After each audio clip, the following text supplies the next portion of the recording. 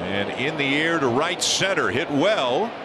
And back at the wall, and it is gone. It's into the bullpen. And it took a moment for Will Wagner to be sure, but he just hit his first major league home run. Have a night, Will.